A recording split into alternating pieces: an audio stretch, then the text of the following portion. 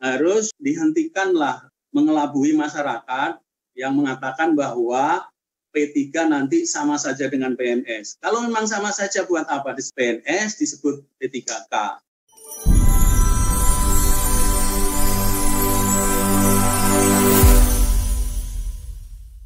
Langsung saja satu karena waktunya uh, tentang honorer.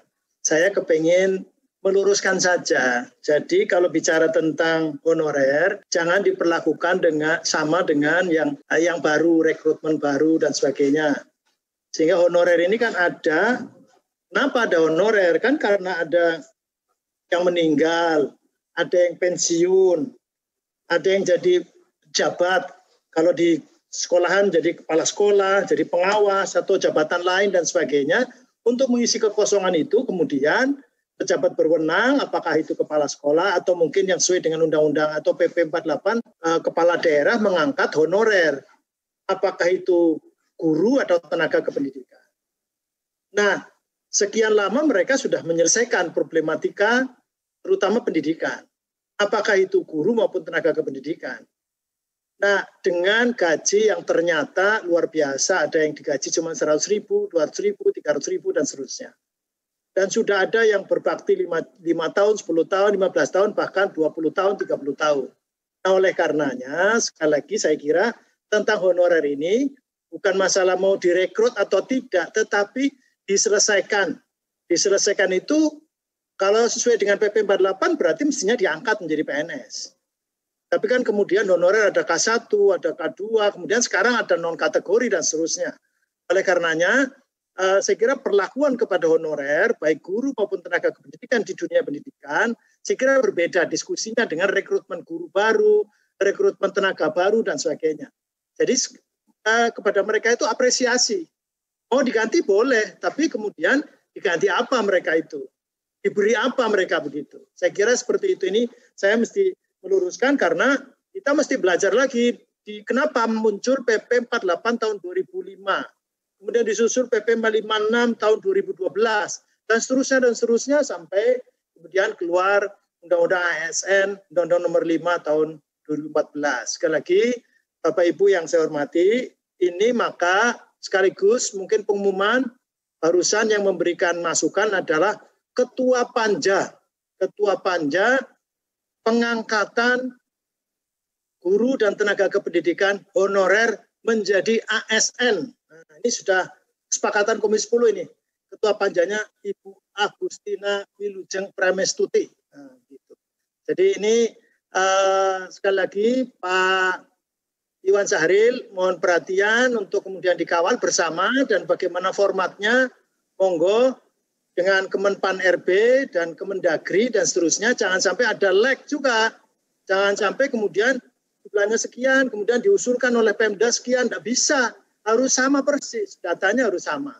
Saya kira begitu, mohon bantuannya untuk penyelesaian. Bahkan istilahnya Komisi 10 bukan penyelesaian saja, tapi pengangkatan langsung. Jadi saya saya mesti menggarisbawahi ini supaya ini nanti mulai kerja langsung sampai itu mereka diangkat. Mudah-mudahan menjadi perhatian kita bersama. Ada beberapa concern saja yang ingin saya sampaikan, Bapak Ibu sekalian yang saya hormati, yang hadir, mewakili seluruh instansi. eh, tepatnya kemarin, eh, terkait dengan isu peta jalan kita sektor pengelolaan terhadap eh, guru dan dosen, tadi sampaikan oleh Pak Fikri, Komisi 10 membuat panja pengangkatan guru honorer menjadi ASN. Panja ini akan bekerja mulai minggu depan sampai nanti eh, tuntas terkait dengan isu ini, kira-kira begitu. Nah, catatan kami yang menjadi concern adalah yang pertama, isu terkait dengan kualitas guru, kesejahteraan, eh, manajemen pengelolaannya, dan seterusnya, sungguh sudah menjadi isu yang panjang eh, dalam dunia pendidikan kita. Kami ingin eh, tidak ada jalan lain ini harus dituntaskan. Semangatnya begitu kira-kira. Dan kami meyakini ini menjadi concern juga eh, semua pihak, terlebih-lebih teman-teman Kemendikbud. Nah, tentu ini butuh prakarsa yang besar, butuh political will yang kuat dari seluruh pemimpin nasional kita. Eh, tapi saya meyakini kalau ini terus kita sampaikan terus menerus, eh, kita kampanyekan di berbagai pihak, kita sosialisasikan, saya meyakini akan ada jalan keluar. Salah satu misalnya menyangkut soal eh, seleksi satu juta walaupun stakeholder pendidikan termasuk dalam ini guru honorernya juga menolak ini, saya merasa ini juga bisa menjadikan bagian dari skema menuntaskan terkait dengan uh, isu guru dan dosen ini. Nah, untuk itu semuanya, uh, saya ingin tadi juga sudah disampaikan juga oleh Pak Amih mewakili Bapenas eh, karena perencanaan nasional diampu oleh Bapenas melalui Pak Amih. Saya kira tidak ada salahnya betul-betul terkait dengan isu guru ini dan dosen menjadi prioritas pokok bagi masa depan dunia apa dunia pendidikan kita ke depan. Nah karena itu eh, sekali lagi ini butuh lompatan Pak Sahrir, Pak Toto, Prof Nizam butuh lompatan betul. Halo.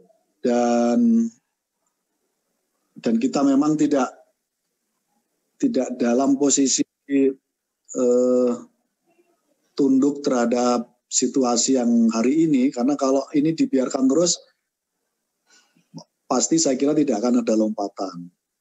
Nah karena itu eh, sekali lagi ini butuh prakarsa yang kuat dari kita semua, prakarsa besar dari kita semua eh, untuk menuntaskan eh, isu pokok besar dunia pendidikan kita menyangkut soal guru ini.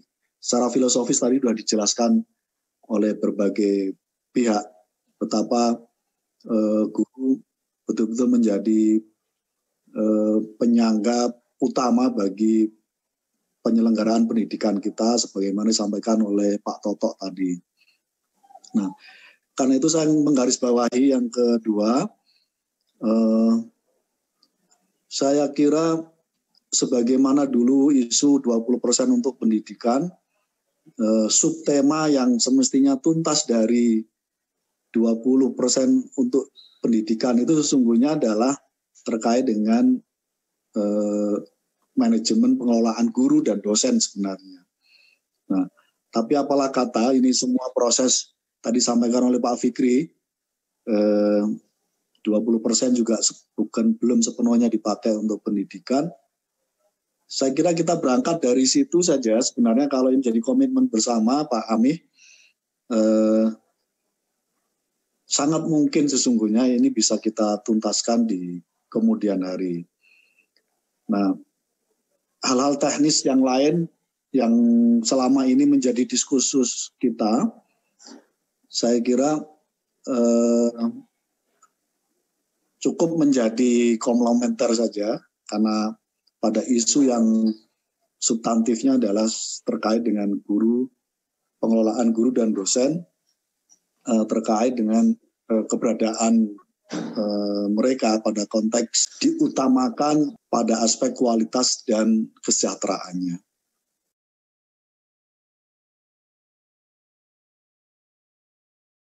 Tambahan lagi sekarang ingin saya berbicara tentang ASN. Guru untuk diangkat menjadi ASN. Di dalam ASN itu ada PNS, ada P3K. Mengapa dibedakan? Karena memang berbeda.